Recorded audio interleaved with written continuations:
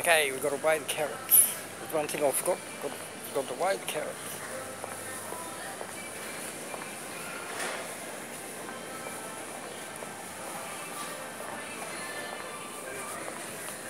Here you go, we've got the old fashioned one.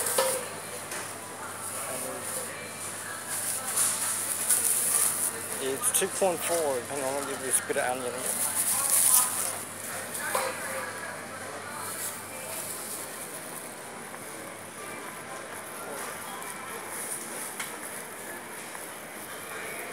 Point three.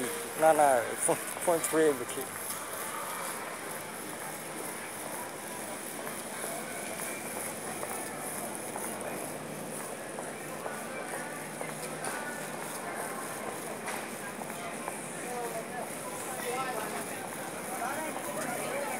I just feel like, I really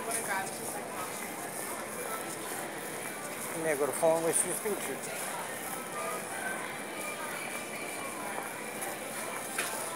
And we've done your minute.